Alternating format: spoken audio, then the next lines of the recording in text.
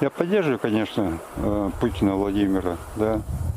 Но надо побыстрее ему заканчивается эта война, захватывать ее. Иначе он окажется в таком нехорошем положении. Сенат США единогласно одобрил закон о программе Ленд-Лиза для Украины.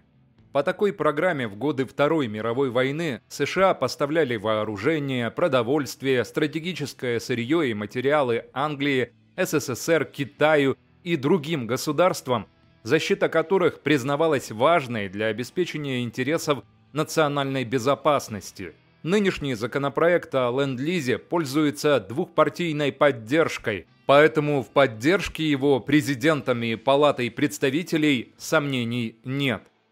Программа принимается до 1 октября 2022 года с возможностью последующего продления.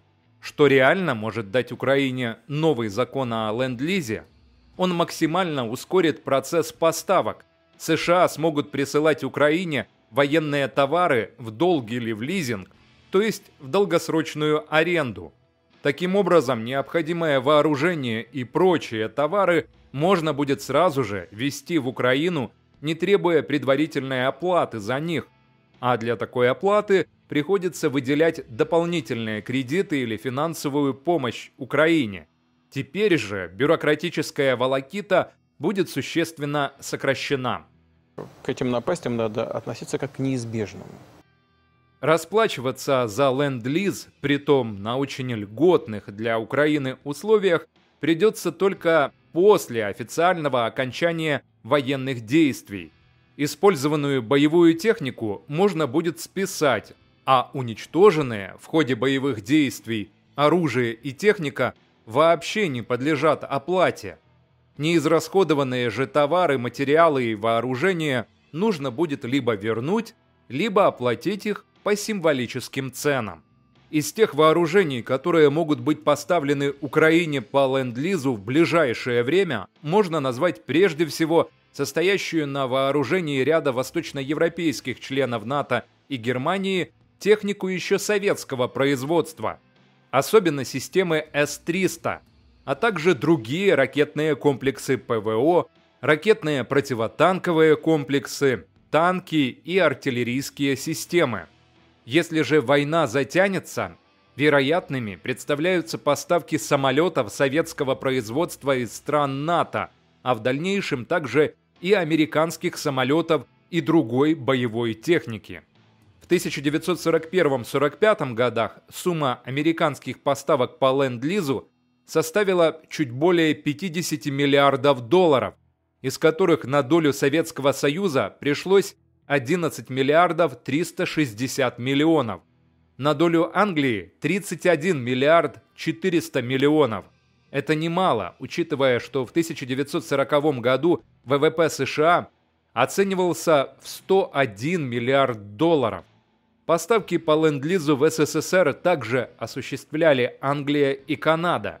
Все поставленные в СССР грузы, включая и те, что не дошли до пункта назначения, были оценены в 13 миллиардов 250 миллионов долларов. Вспомним сталинский тост – произнесенный 30 ноября 1943 года в Тегеране на торжественном обеде в честь дня рождения Черчилля. Я хочу сказать вам, что с русской точки зрения сделали президент и Соединенные Штаты для победы в войне. Самые важные вещи в этой войне – машины. Соединенные Штаты доказали, что могут производить от 8 до 10 тысяч самолетов в месяц – Советский Союз может производить самое большее 3000 самолетов в месяц. Англия производит от 3 до 3,5 тысяч в месяц, в основном тяжелые бомбардировщики. Таким образом, Соединенные Штаты – это страна машин. Без этих машин, полученных по ленд-лизу, мы бы проиграли эту войну. У вас бы никого не было. По свидетельству Хрущева, Сталин говорил ему, что если бы США нам не помогли, то мы бы эту войну не выиграли. Один на один с гитлеровской Германией мы не выдержали бы ее натиска и проиграли войну. Вы сейчас сказали, что если бы мы были разделены, мы не победили бы в войне. мы все равно бы победили. Потому что мы страна победителей. И, и более того, вот под тем, что я сказал, есть определенные основания. Если мы посмотрим статистику времен Второй мировой войны, то выяснится, что, а собственно, что выяснится, там это все есть. Наибольшие потери в Великой Отечественной войне понесла именно РСФСР. Более 70% потерь. Это значит, что война выиграна, не хочу никого обижать, но в основном за счет ресурсов человеческих и индустриальных ресурсов Российской Федерации. Эту тему официально у нас никто не затрагивал, продолжает Хрущев. И Сталин нигде, я думаю, не оставил письменных следов своего мнения. Но я заявляю тут, что он несколько раз в разговорах со мной отмечал это обстоятельство. Обманули. В ряде отраслей поставки по ленд-лизу имели критическое значение для советской экономики. В частности, лигирующие добавки для производства брони практически целиком поступали по ленд-лизу. Из Англии, США и Канады поступило более трети всей взрывчатки, использованной в Советском Союзе в годы войны. Из США и стран Британской империи в СССР поступило более 55% всего использованного промышленности алюминия. Поставки меди составили около 82,5% от объема советского производства. По ленд-лизу было поставлено более 50% от общего объема советского производства авиабензина. Фактически же поставки по ленд-лизу были включены в советское производство – поскольку использовались почти исключительно для разбавления советского авиабензина с целью повышения его октанового числа. Без поставок по ленд-лизу советская авиация осталась бы без горючего, да и самолетов было бы произведено вдвое меньше. Также в СССР по ленд-лизу было поставлено 35 800 радиостанций, 5899 приемников, и 348 локаторов, что обеспечило основные потребности Красной Армии. Такого не было никогда. Из США поступило 32 200 мотоциклов, что в 1,2 раза превышало советское производство за 1941-45 годы, и 409 500 автомобилей СССР произвел в полтора раза меньше. Но это же чушь. Американские студибеккеры, в частности, использовались в качестве артиллерийских тягачей. Кроме того, легендарные советские «Катюши» ставились почти исключительно на шасси студибеккеров. Хотелось бы мне иметь такую машину в России. По ленд-лизу в СССР было доставлено 1900 паровозов и 66 дизель-электровозов, что превосходило общее советское производство паровозов в 2,4 раза, а электровозов в 11 раз. Из Америки было получено 610 тысяч тонн сахара, то есть почти 30%, то есть почти 30% сахара, потребленного в СССР в годы войны. А еще 664 тысячи тонн мясных консервов, знаменитой американской тушенки. Это больше, чем совокупное советское производство всех консервов в годы войны. И ничего хорошего здесь нет. Американцы поставляли также свиное сало, меланж и другие продукты питания.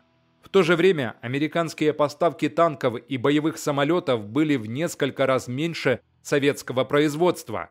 Американцы тогда делали упор на поставки сырья, оборудования и материалов для резкого наращивания советского производства вооружений и боевой техники – с нынешним ленд-лизом для Украины ситуация иная. Ей срочно нужны поставки вооружений и боевой техники, готовых к немедленному использованию на поле боя. Остановить российскую агрессию можно только военными средствами. Уже введенные санкции могут существенно повлиять на способность России вести войну только через несколько месяцев, а то и лет, Действительно же, разрушительные санкции, которые могли бы дать немедленный эффект, Евросоюз вводить побаивается. Это, это правда. После долгих согласований в Брюсселе, наконец приняли пятый пакет санкций. Самая серьезная мера – запрет на импорт российского угля. По настоянию Германии вступит в силу только в середине августа, на месяц позже первоначально запланированного срока, а нанесет России ущерб на сумму 4 миллиарда долларов. Это лишь булавочный укол. Чушь какая-то. А из объявленной транспортной блокады сделано достаточно исключений, которые позволят ее обходить. Нефтяное же эмбарго, которое только и могло бы заставить Путина остановиться, похоже, отложено в долгий ящик. Между тем, Дмитрий Песков в интервью телеканалу Sky News впервые признал значительные потери российских войск в Украине. А мы жертвы агрессии. Здесь можно усмотреть грозный признак. Российское общество готовит к всеобщей или частичной мобилизации и к затяжной войне. А, а они просто сдохнут. А в такой войне способность Украины выстоять будет критическим образом зависеть от скорости и масштабов развертывания новой программы Ленд-Лиза. Победим Украину. Осталась неделька. Все.